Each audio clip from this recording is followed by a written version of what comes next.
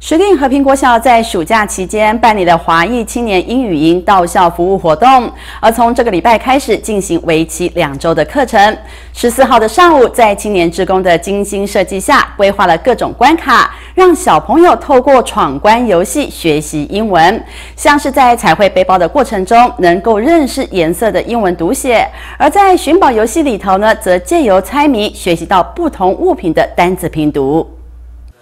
石碇和平国小在暑假期间办理华裔青年英语营活动到校服务，今年迈入了第五年。在为期两周的营队课程里，要让参加的小朋友都能开心学英文。青年职工更精心设计互动游戏，将英语教学融入其中。十四号上午就展开了 Fun Day 闯关活动，规划了不同的关卡，让孩子边玩边学。彩绘书包啊，哈。还有一些寻宝游戏哈，总共分成四个四个组哈，让他们去闯关。那希望能够透过这种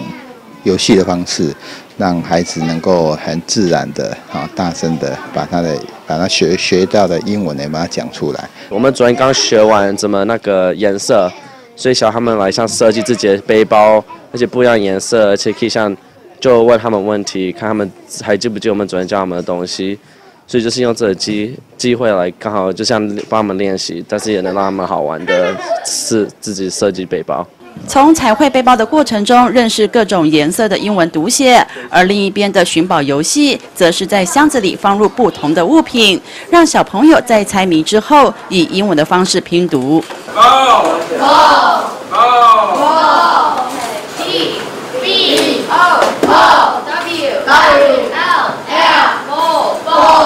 有趣的游戏不但拉近了小朋友和华裔青年职工的距离，也提升学习兴趣。对于学英文、说英语也不再那么恐惧。是可以学到比较多英文，然后可以跟外国人接触，比较不会那么的不自在。他们在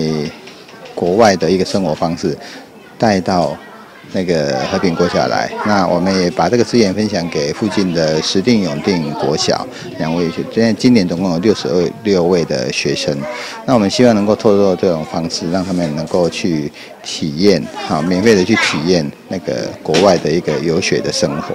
除了室内游戏课程，另外有青年职工是将小时候玩的游戏和小朋友一起分享，在篮球场上一边玩着躲避球，另一边则比赛谁比较快将水球做破。第一个人呢，就会过去那边坐在水球上，然后要做破。然后回来的时候呢，第二个人就要去，然后看哪一组呢，就先把全部都做破，就会赢了。小朋友欢乐的笑声洋溢着整个校园。和平国小校长江梦佑表示，透过这样的活动，除了让孩子可以学习语言，也能进一步接触多元文化，拓展国际视野。记者杨邦友、周方琪实地采访报道。